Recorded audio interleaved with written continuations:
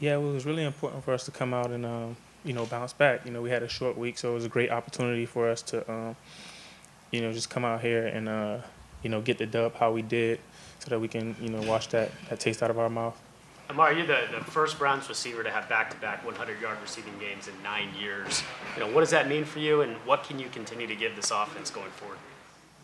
Uh, I mean, I mean, I didn't know that, but uh, you know, I mean, I guess that's cool. you know what I mean? Um, you know, that, that hundred yard mark is kind of like the standard for a receiver to have a good game. You know, and in everybody else's eyes. But I just, I just come out here and really do my job, like I said before, do what I practice, do what we practice, do what the coaches asking me to do, and uh, continue to show that I can just get open and, um, you know, be productive for the team.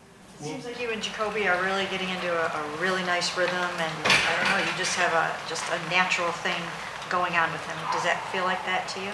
Yeah, I mean, uh, like I said, we go out there and we practice hard. Um, we practice on our time, and we're always communicating, um, even outside of the building.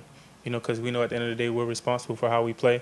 Um, and then Jacoby, uh, at the end of the day, we're from we're both from South Florida, so he's easy to relate to. You know, he's a really cool person, real real fun guy to be around. So, I mean, you know, the communication is there, and everything like that. So we just want to build off of what we've been achieving so far. What do you think Jacoby has proven the last two weeks to not only his team, but the city that maybe was uncertain about him?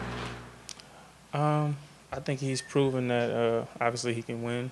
You know what I mean? But I don't think he's proven anything that we didn't already know about him. You know, like I said before, um, he, I, don't, I don't think he would be in the league if if he wasn't a good quarterback at this point. Uh, I think he came out the same class as me, or or something like that. So uh, he's been in the league a long time. He's a veteran. He's a really good player. Uh, we're really glad to have him.